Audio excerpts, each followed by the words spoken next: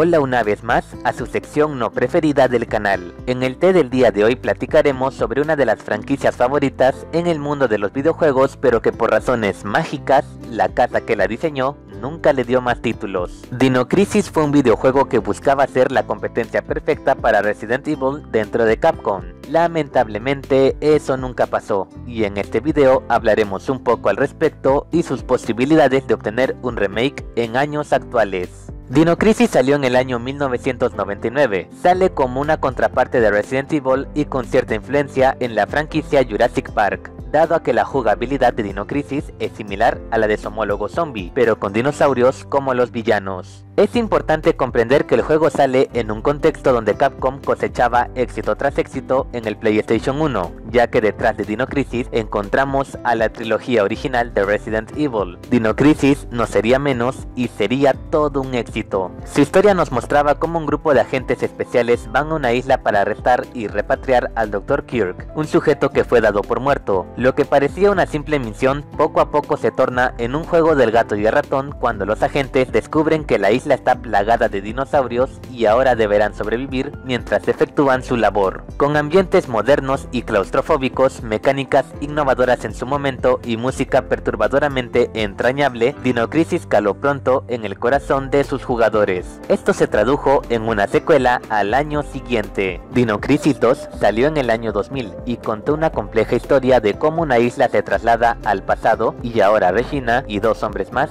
deberán salvar a las personas que se quedaron atrapadas en esta isla en la época de los dinosaurios. La secuela fue un éxito comercial pero las críticas fueron divididas, aunque eso no evitó que tuviera un spin-off titulado Dino Stalker. Este título nos cuenta cómo el teniente Mike es enviado al hiperespacio con la misión de salvar a Paula, la hija de Dylan Norton, cosa que se complica al saber que este lugar está infestado de dinosaurios y es un sitio donde presente, pasado y futuro colisionan. Este fue el último título de la franquicia en tener una puntuación decente, ya que no fue muy rentable pero sí entretenido, y ligeramente ligado a sus antecesores, cosa que no pasó con el siguiente título. Dino Crisis 3 salió en 2003 y no vale la pena hablar mucho sobre esta entrega ya que la historia se desarrolla en el espacio. No tiene algo en común con los títulos previos, solamente el nombre, y fue la única entrega que salió exclusivamente para Xbox en 2003.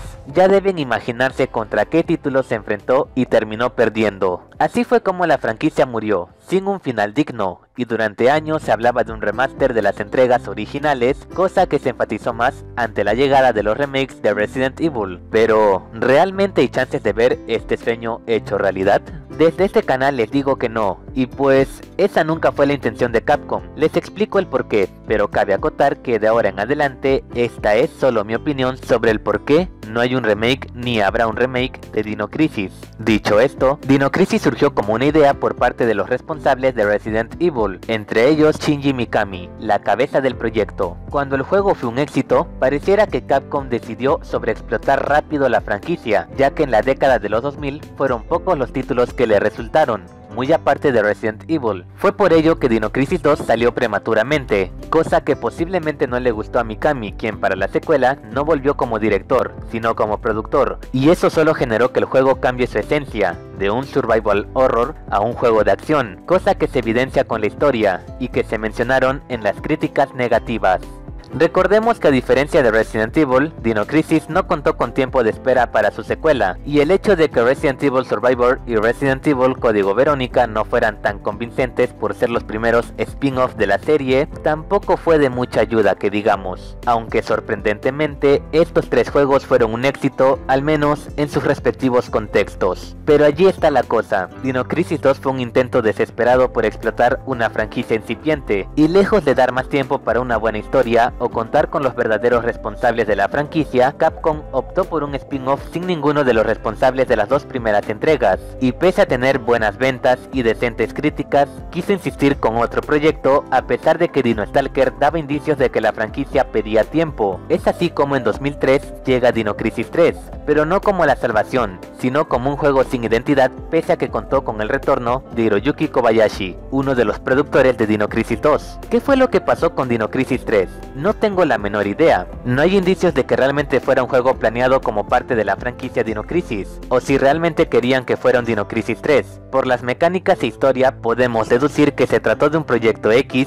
que por tener dinosaurios y personas que buscaban sobrevivir, decidieron darle el título de la franquicia para rematar su deceso, para acabar con algo que se pensó con las mejores de las intenciones. Y mientras Dino Crisis daba su último respiro, adivinen qué franquicia de Capcom resurgió. Luego del 2003, títulos como Resident Evil 4, The Umbrella Chronicles o Resident Evil 5 hicieron que Capcom se dedique a esta franquicia de lleno y se olvide completamente de los dinosaurios y los remakes de las últimas secuelas lo delatan. Respondiendo a la pregunta del video, el remake de Dino Crisis seguirá siendo un sueño por dos razones desde mi punto de vista. No hubo una planeación idónea para la franquicia y Resident Evil. Si Dino Crisis hubiera sido un éxito como Resident Evil, Capcom tendría un poco más de conflictos a la hora de decidir por el título a producir o cómo sacar a flote a ambas franquicias. Recordemos que por poco y se nos va con Resident Evil 6, por ende es poco probable que Capcom quiera más trabajo del que ya tiene, además